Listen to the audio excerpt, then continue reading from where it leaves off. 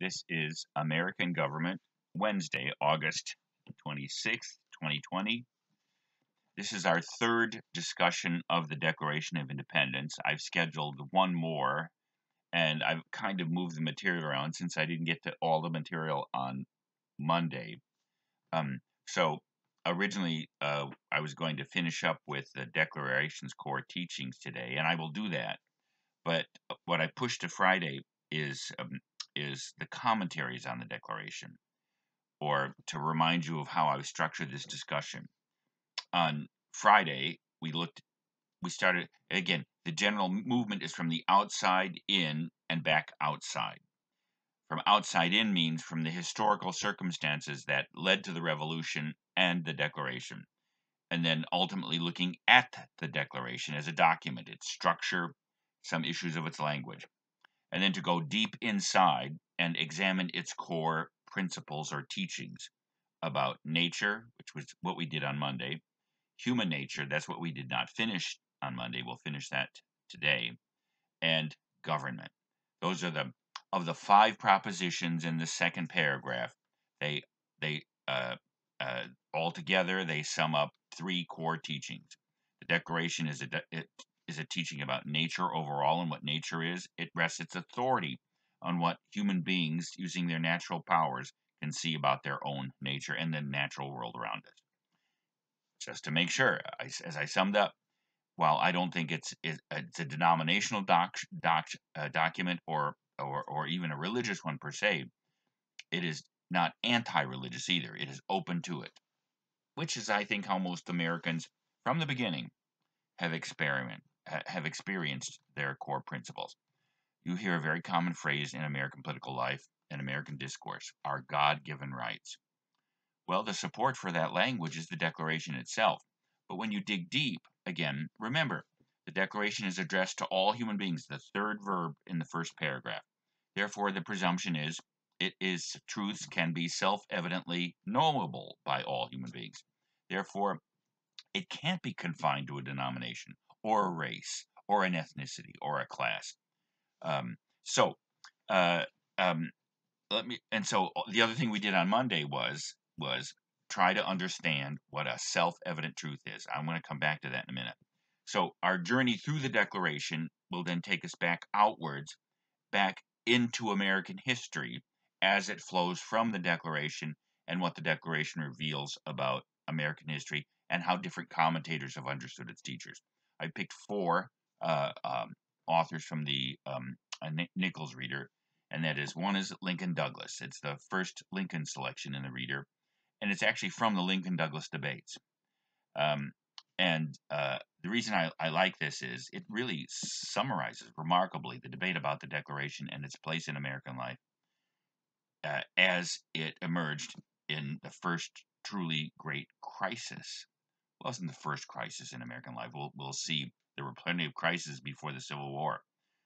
But uh, as Plato suggests, uh, there's no crisis in a nation's life worse than a civil war, where the nation is torn apart, where its political existence unravels in mutual hatreds. So, um, the second commentator is Martin Diamond, was a professor of mine at Northern Illinois University, along with Mary Nichols, by the way, and when David Nichols her husband was my friend there, and they got married. Um, but uh, Diamond was a political scientist, and in one of his great lectures given during the bicentennial of the Declaration, he talks about the meaning of uh, liberty. So, in a way, you're going to see Lincoln and Douglas are debating about equality, which is natural in a debate about slavery. Diamond is trying to talk about how the Declaration's teaching about liberty leads to American political life and institutions and beyond it. President Obama, in his second inaugural, is going to argue that the Declaration of Independence is the eternal source of the unfolding of American political life, and therefore you can't have America without the Declaration. And Kurt Vonnegut, great science fiction writer, in his short story, examines uh, how two of the main ideas of the Declaration about human beings that they are equal and that they have rights. You're going to see the question of liberty and rights and equality, all of these terms sort of blend together. they, they are complex and they are often reflections of each other. But what Vonnegut shows is that uh, the Declaration's teaching tends to emerge in a twofold concern, which you've already seen. A concern that somehow American life should represent the equality of the Declaration, and at the same time that Americans should be free in some essential way based on the Declaration. And you'll see there is a certain sense in which all the great ideas of the Declaration and, and their relevance for life can be uh, uh come down to a, uh, uh, an embrace of the idea that some human beings are somehow equal and they are free. And it will turn out those two ideas are not necessarily identical to each other. We tend to think that um, perhaps because we're optimistic as Americans, that you can have everything in political life. Vonnegut suggests, by the way, that when you push these two ideas, equality and freedom, to their extreme, there you may reveal a certain tension between them, and that's in his great short story Harrison Bergeron. That's for Friday. Okay, so let me remind you uh, that we we we talked about the meaning of a self-evident truth. A self-evident truth is uh, uh, a factor aspect of uh, the human condition, which uh, po- possesses the internal confidence and observational the observability of a mathematical truth, but a truth so simple that it's once you see its internal terms, you see it immediately. And practically speaking, as we saw, that's almost as if a, a, a common sense truth about the human condition that even a child can see. Um, it's it's it's a it's a based on reason and observation, but again, its terms are so clear that any uh, human being with minimal intelligence should be able to see it. Now, if you hold that definition in mind, that's the test I want to meet as we move through the rest of the Declaration's teachings. That is to say, not only do I want you to understand those teachings, what does the Declaration say about human beings, and what does the Declaration say about government? By the time this definition, this discussion is, is through, you should be able to see the statements, the principles of the Declaration as self-evident truths. Now, in order to help you see that, you'll see that that will condition how I define what a right is and how we see what equality is.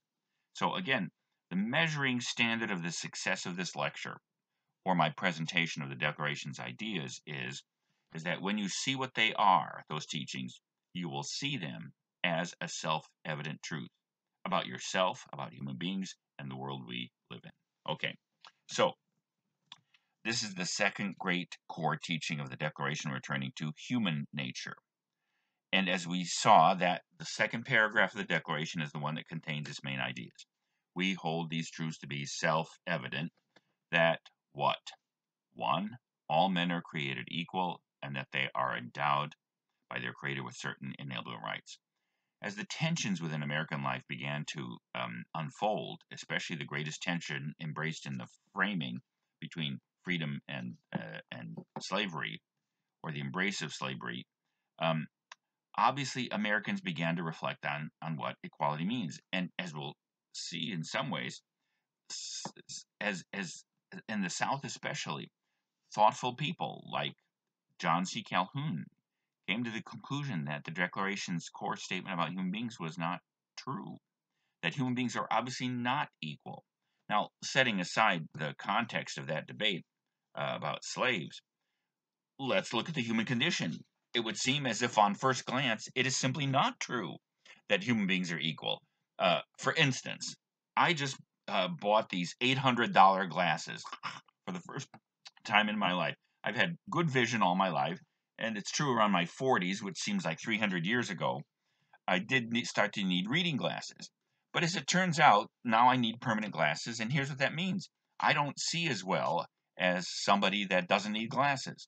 In fact, I think the statistic is that 52% of the population in America require glasses. Clearly, for instance, when it comes to natural powers, uh, we're not always equal. Some people are faster, smarter, um, uh, see better, uh, stronger. So it would seem at first glance, at first glance, that the statement that all human beings are equal uh, would not necessarily be a self-evident truth. Of course, as you will see, it turns on what you mean by that equality and in what sense human beings are equal. So, if you're looking at the notes, first, there is a certain sense in which the statement that human beings are equal is meant as a general statement that when you take one human being and compare it to another human being, like one lion to another lion, yes, there are differences of degree, but essentially within a species created by nature, the individuals of that species roughly have the, the, the same constitution, the same construction, the same powers. Um, that seems to be what the originators of the idea of rights and the doctrines of human equality. I mentioned that these are philosophic doctrines, and indeed, it was modern philosophers. Um, uh, Thomas Hobbes in 1651, we'll come back to that when we talk about the definition of right, and John Locke in 1688. And generally speaking, the language of human beings being equal comes from the modern philosophers. And in some ways, they provide the framework, the Enlightenment, and generally speaking, in this period of history, from about 1650 to 1800, our country was born in, in the Enlightenment, and there is a certain sense in which these ideas are part of the scientific, political, and cultural enlightenment of humanity as it unfolded during that time. So, generally speaking, the first understanding is that human beings are equal in that sense. Now, they are primarily equal, and we'll see this is where the concept of equality begins to bump into or overlap with the concept of rights. As we're going to see, there is a certain sense in which uh, human beings are equal in that they possess certain rights and possess those rights equally. So when we turn to the formal definition of a right, you'll see that it also both embraces freedom and equality. All right, now, one way to understand natural equality as the Declaration uh, understands it is to compare it or look at a natural inequality. And the most useful inequality that helps to understand the Declaration's teaching about human equality is the inequality between adults and children all of you uh, were children at one time. And what's interesting about college students, traditional college students from the age of 16, 17, 18, 19, 20, or today now 40, just kidding, um, is you know, you're in this uncomfortable stage where you still possess certain aspects of childhood. You're not a complete natural adult, but you're almost there. Uh, and and you can tell that in the tension between your parents granting you a credit card and trying to put use restrictions on the use of your credit card. The reason that it's easier to come into conflict with your parents about how to live your life is you are now on the brink of natural completion of your adulthood. And as you're going to see, that means you want to run your own life. And, and in some ways, that natural inequality, here's what that means. A child is clearly an incomplete human being, an, an incomplete adult, an incomplete human being. Now, the core powers, and this is kind of an Aristotelian thought, but the great the great philosophers of the modern world thought this too, that that what you see in a child is a potential adult. And and that different thinkers in different societies locate the different points of unfolding of the different kinds of human potentials. Um, most philosophers and most traditions around the world say that the beginning of a child's ability to reason for him or herself is about between five to seven. Um, uh, for instance, in the Catholic tradition, that's when you become responsible for confession and that kind of stuff. It's sometimes called the age of reason. But as we saw, even very young children can at least possess minimal reason. But there's no doubt, I think, for anyone's mind that that you couldn't put a five-year-old um, uh, at the head of a corporation or even the head of a family. And so, what that here's what that means in terms of rule, the inequality. If children don't possess the full range of natural powers yet. They possess them potentially, but not actually, to rule themselves. Then nature provides a solution to that. It provides parents.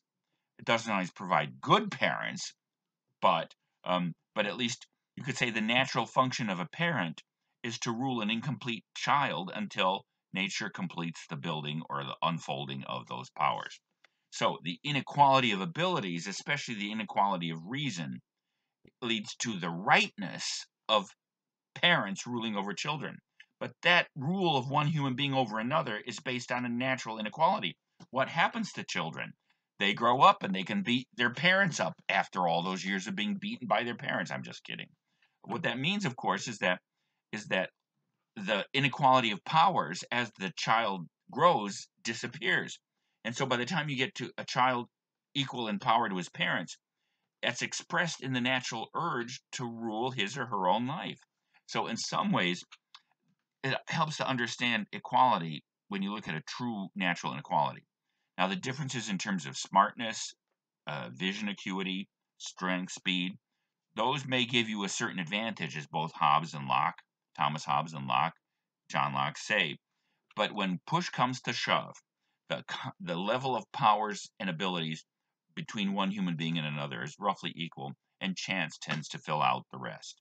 So it's not to say that it's not a natural advantage to be stronger or more beautiful than another human being, but that doesn't give you in the in the capacity to live in the natural world that much of a of an advantage. All right, so let's then turn to the probably the deeper sense in which human beings are equal, and that is their possession of natural rights. Remember, the word nature comes from the word natus, natura, the things that are born. Uh, so obviously, when you when you say nature grants you rights, or uh, that means that the rights we're about to talk about and come from are in you by nature, by birth, by your natural construction. And um, and and, and as you're going to see, uh, that doesn't mean that every culture and every society and every family and every parent sees that nature an example I, I, use from time to time is in pre-revolutionary China. Around 1911 is when the first Chinese modern revolutionary was. Right?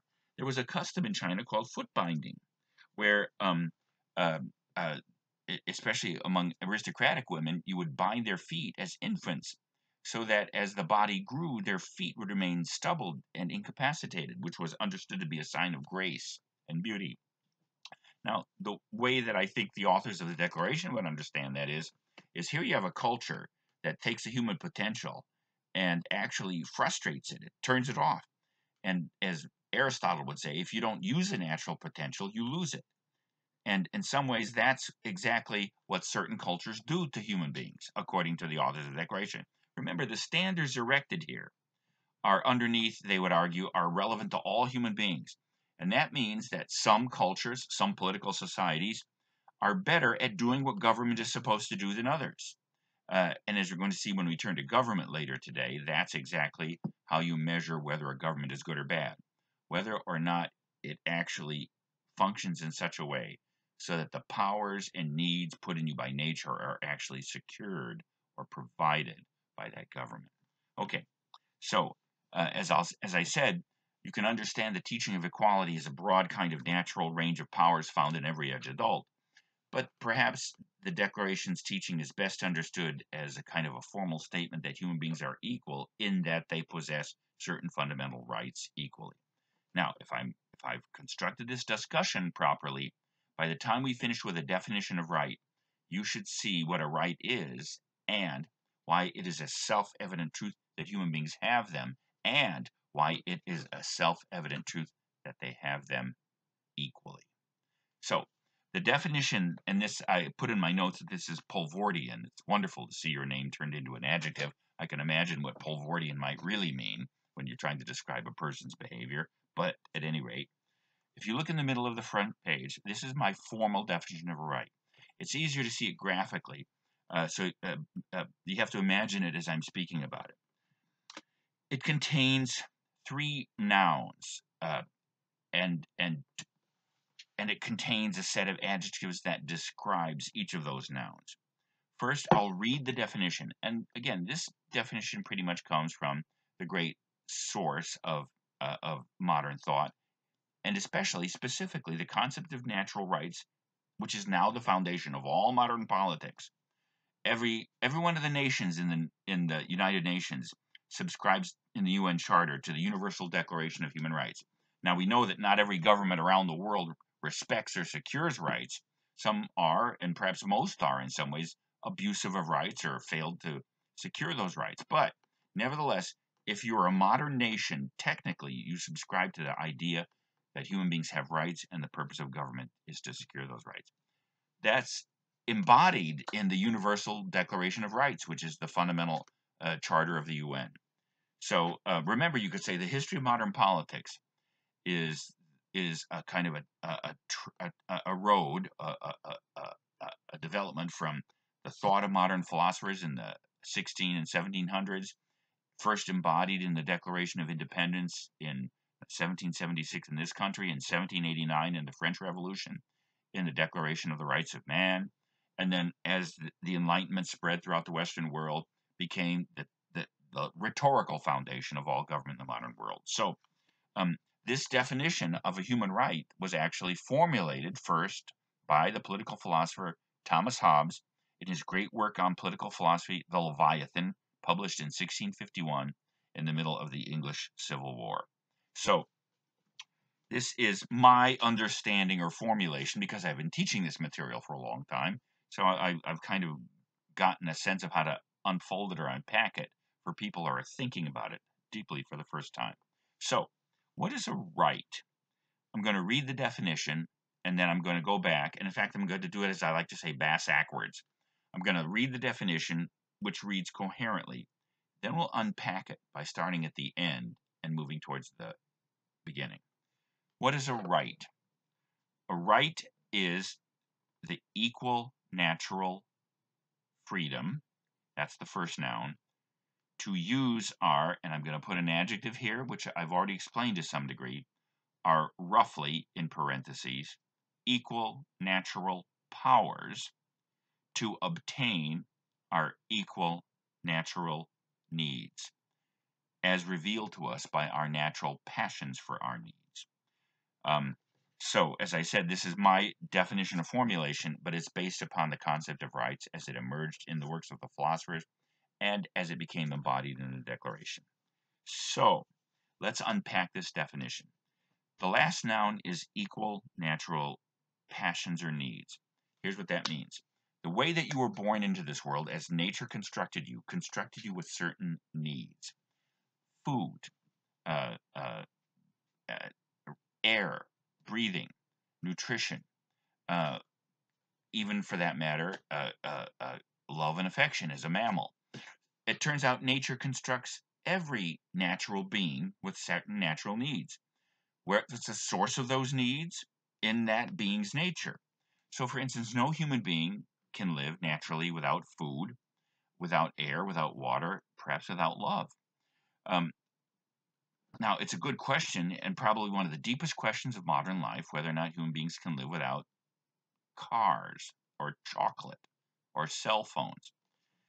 There wasn't what you have to remember here is there's no question as we see, and this is implicit in the doctrine of the Declaration, is that we don't live in the way that nature made us. Well, when we come back to the question of why not rights are insecure, we'll see this. We live in society, and people acquire a different kind of layer over their natural needs, so that sometimes a society can distort or create needs that are actually not natural. They have to be grounded in some natural need. Like, for instance, there's no natural need for chocolate bars, I think. Um, but you can tell that, like, for ice cream or for money or for all kinds of things. Um, you can acquire exaggerated artificial needs that may, in fact, obscure or even undermine your natural needs. We are talking about natural needs. Now, here's the point. Once you see what a natural need is, food and everything, ask yourself this question. When it comes to staying alive, which is what nature makes us want to do, does one human being need food any more than another. Another human being may want more food and they may eat more food, uh, but that's not the point. Once you once you establish a natural need, whether it's food or water or uh, or or whatever, then you see that every being that has that need in that species anyway has it equally. No human being needs food more than another human being needs air. If you take it away from any human being, you'll the human being will die. So you'd have to say, the moment that you see our fundamental needs as natural beings, you self evidently see, not as a, uh, the conclusion of a long process of reason, But the moment you grasp those needs, you see they are equal in all of us.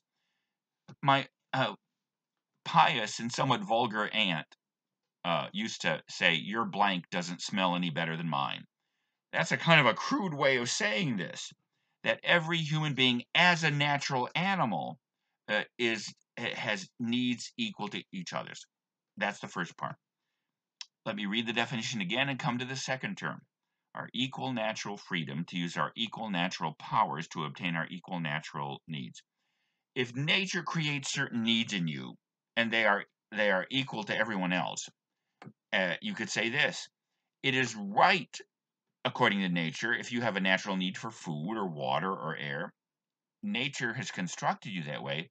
Therefore, it is right for you to have those things. Nature makes all the creatures it um, it creates or it is it, it, it develops um, uh, with certain powers to obtain those natural needs. So every different species in nature has a different range of natural powers or means to obtain the ends of its needs. And we get back to human equality.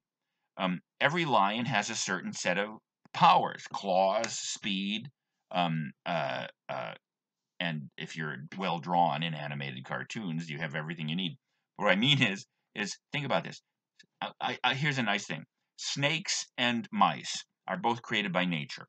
They both have a need to stay alive, and and each being each species, each snake has an equal need to stay alive as equal snake, each snake, and each mouse does. And in fact, each snake has the need to remain alive, just like a mouse does. To each one of these beings, nature gives different powers to obtain that life. It gives to snakes fangs and, and, and acute smell and, and the ability to move quickly. To mice, uh, it gives um, speed, agility, um, and uh and um, and uh, cuteness. Um, so it may seem that in in the in the movie The Lion King, I remember in the Circle of Life, uh, Mufasa explains to Simba that you know the antelopes eat the grass and and and the lions eat the antelopes and then the lions die and become grass and it's the circle of life. And in, in that you would say well don't the lions come out a little better than the antelopes? Well no as it turns out because lions can have claws and strength and they can catch antelopes but antelopes also are remarkably fast. And you'd have to say that in, in the scheme of things it evens out. So every natural being has needs which are natural and therefore equal to every other being. They have natural powers to obtain those needs, which are roughly equal to every other being in its species. And here's the point then. If now let's confine ourselves to human beings. If every human being has the same fundamental needs, which are natural and equal to each other, and has the same fundamental powers and abilities, with some differences, we already talked about that. But you have to say this when it comes to living its natural life, no human being is superior or inferior to any other uh, adult human being in terms of using those powers to obtain its needs. Therefore, if every human adult being is naturally equal in his powers to obtain the things that nature makes you need, then every human being is naturally and equally free to use those powers to obtain or remain alive.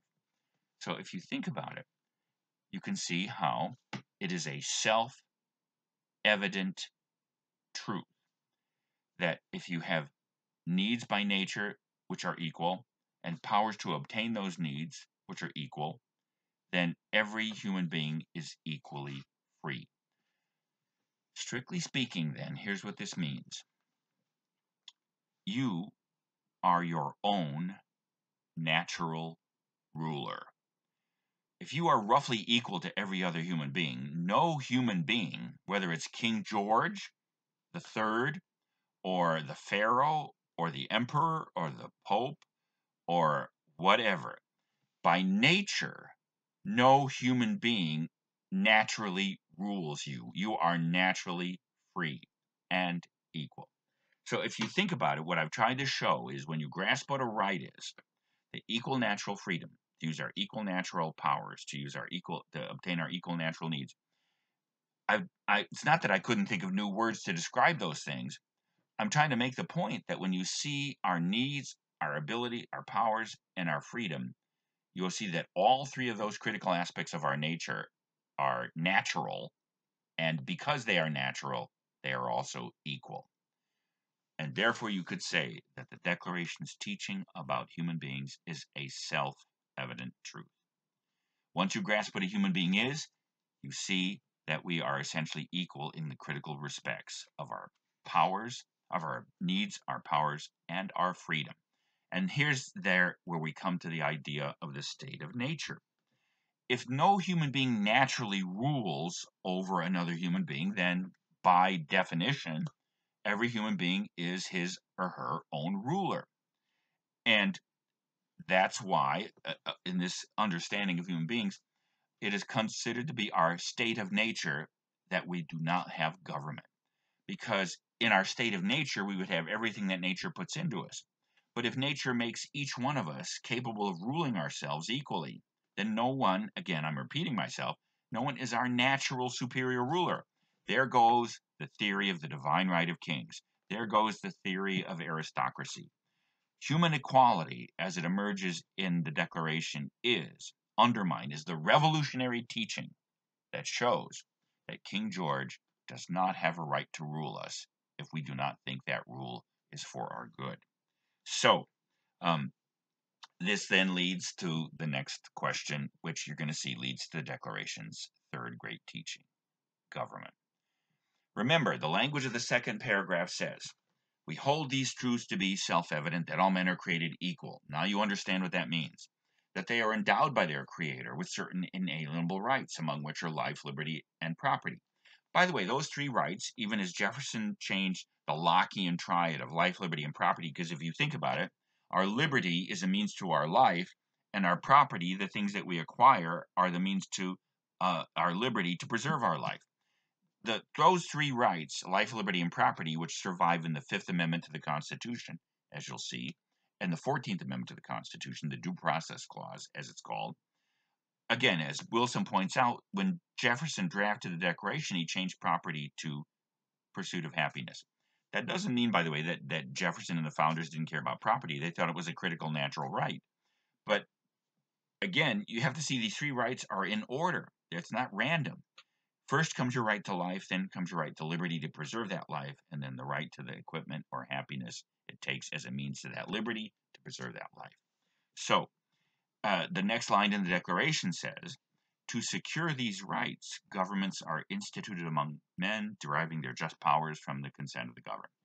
Now, uh, as I said on Monday, here you have to learn to ask the question that you're not used to asking.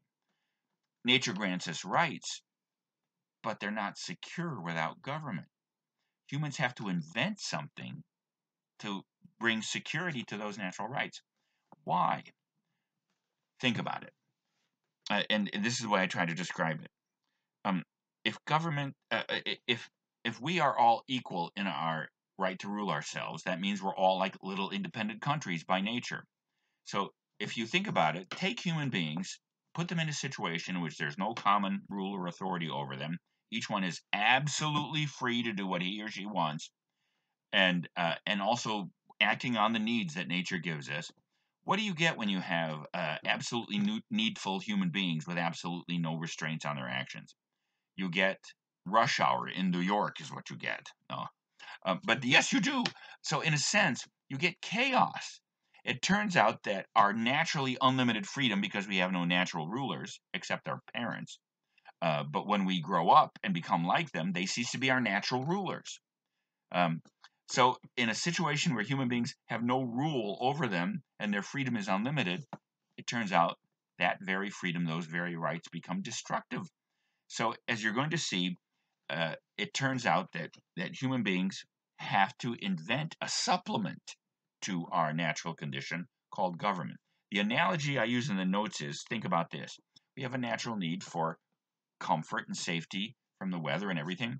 So uh, in order to fulfill those natural needs, we created an artificial thing called a house. What is a house? It's an artificial means to secure our natural needs, such as shelter, etc., and comfort. So the Declaration's teaching is government is not natural to human beings. It's artificial. It has to be constructed. And as you're going to see, um, uh, that's how government comes into being. How it comes into being, what's it made of, and and how that happens, as you're going to see, is uh, supplied by the Declaration's other statements in that uh, paragraph. So, um, why are our rights insecure? I've already suggested it's because of our unlimited freedom. So, you'd have to say that in the world imagined by the Declaration, there are three potential sources of insecurity of our rights. The first and most obvious one is other human beings. I try to make my students imagine if you were driving at three in the morning uh, uh, on I 26 down to Columbia from Spartanburg and your car breaks down.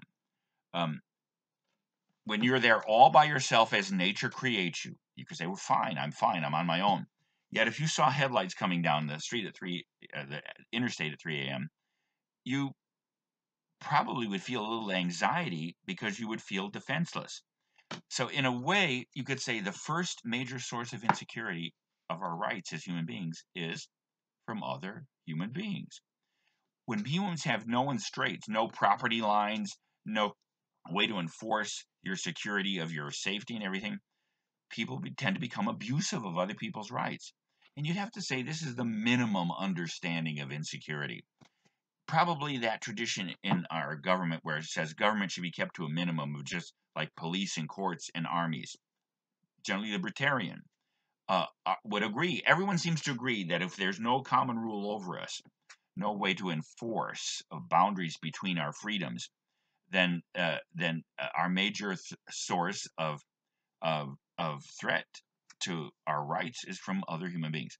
If you've ever been a sibling in the back seat of a car, you know that your brothers and sisters are your major source of insecurity of your enjoying the back seat ride. So, uh, if you think about it, that's why we need to construct government. We draw limits to our freedoms, as you'll see, and the government enforces those limits and protects us from other people. But nature also uh, uh itself uh, seems to sometimes threaten our rights. And in my notes, I say, Have you ever heard of earthquakes? Hurricanes, floods, plagues, COVID 19. So, on one level, nature creates us and bountifully gives us uh, our needs and things to supply those needs with. But the chance that nature uh, also surrounds us with means that oftentimes it's not from another human being that our rights are taken away, you might say, the structure of nature itself. So, on one level, you can see why some people would argue that the purpose of government is like flood insurance or FEMA or something like that. So, uh, it turns out that some people argue that government should be more expansive than just the minimal things that libertarians want.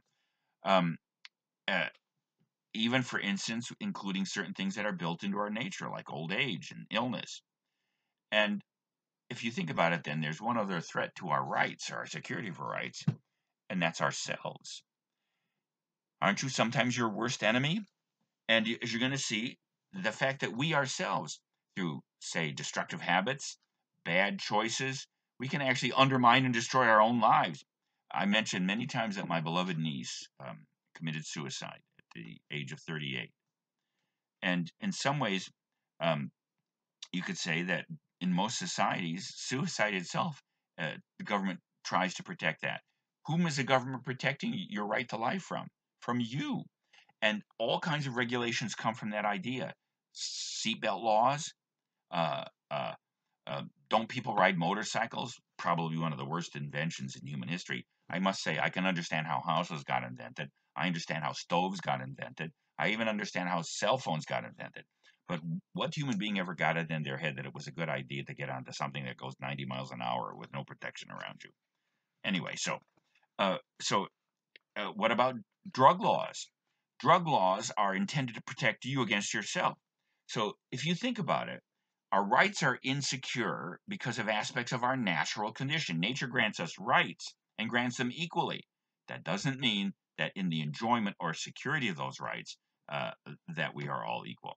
And so, as you're going to see, the Declaration says human beings then have to create something in addition to their natures they have to create a structure, an artificial structure, which gives to them or secures for them what nature doesn't from other people, sometimes from larger conditions, and even from themselves.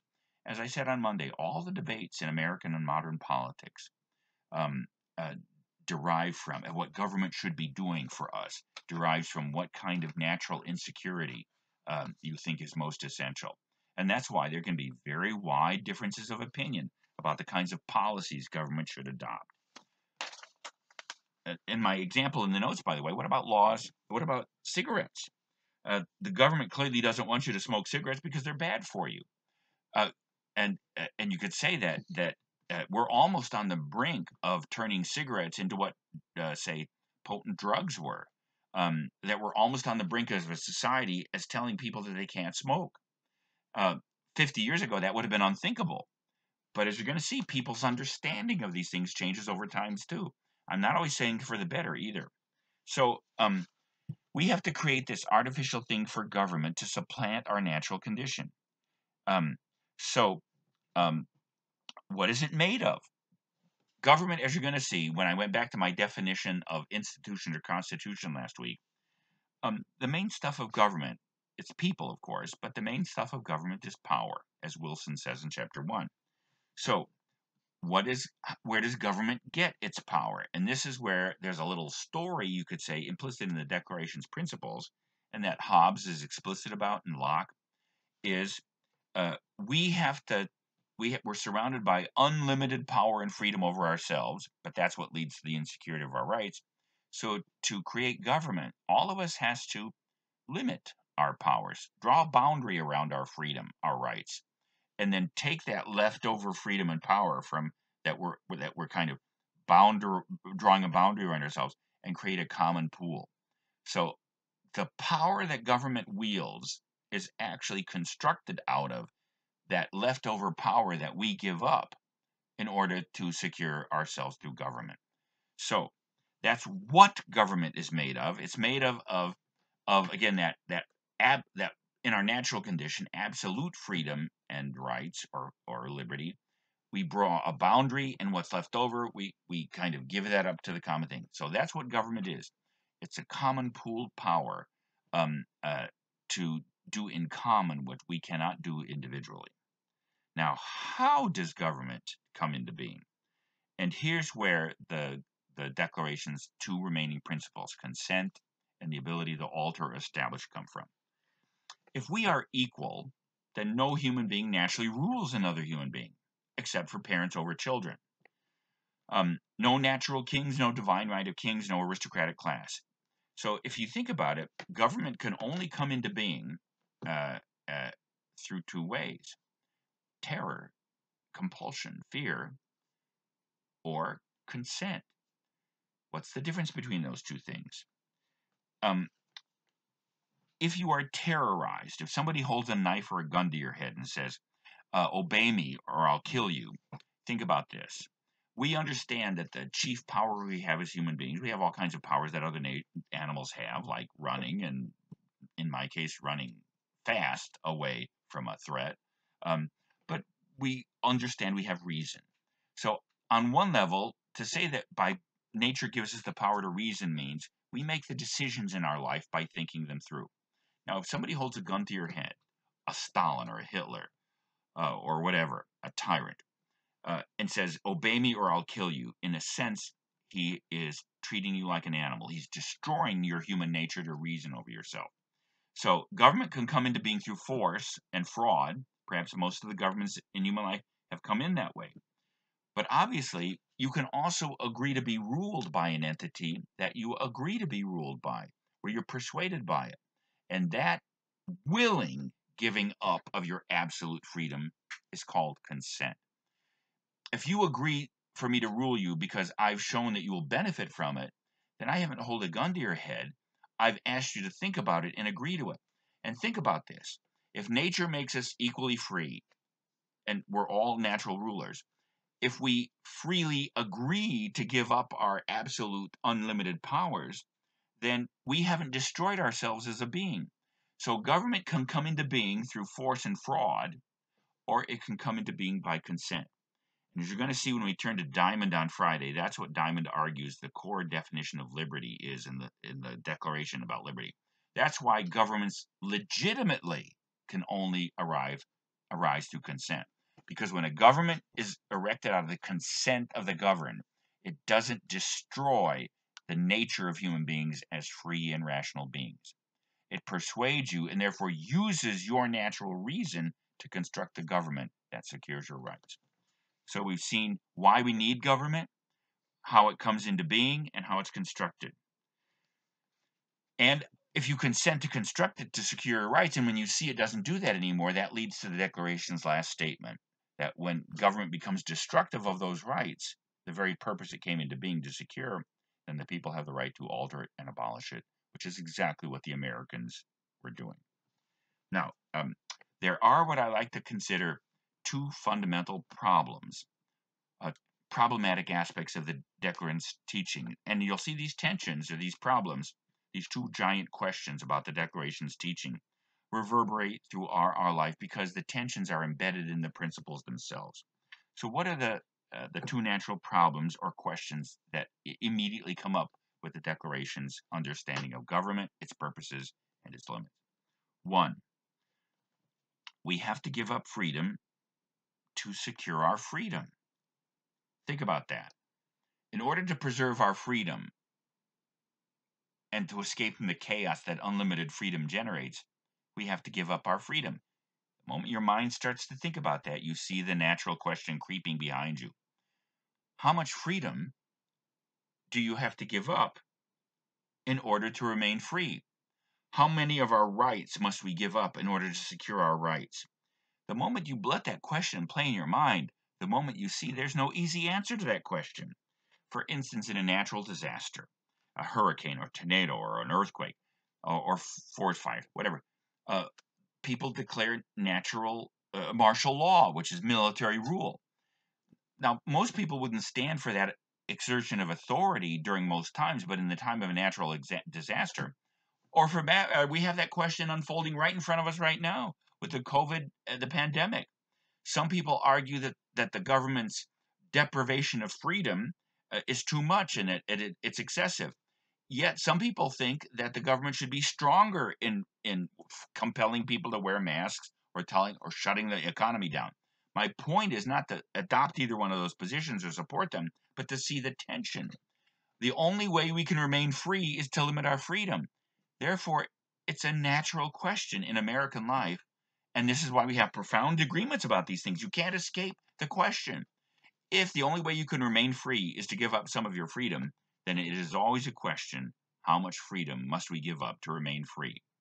And there is no simple, easy answer to that question. Much of it depends on circumstances, much of it depends on the nature of the people in front of you.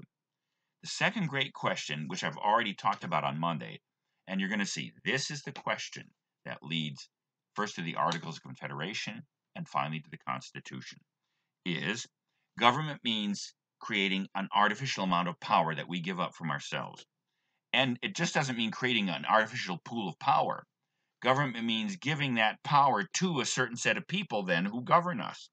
So it means, by the way, that government naturally means an inequality of power.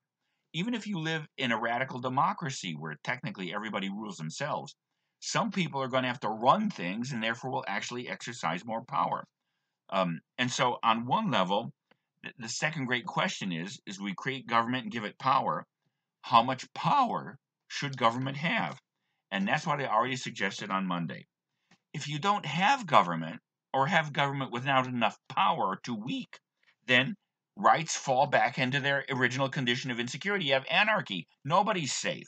So government has to be strong enough to draw boundaries and keep our rights secure by enforcing those limits and protecting against thieves or or or or or people that would assault us or something. So on one level, creating the power of government, we have to give government enough power to end the natural anarchy and insecurity that we live in. Yet, here's the problem: the cure can be worse than the disease.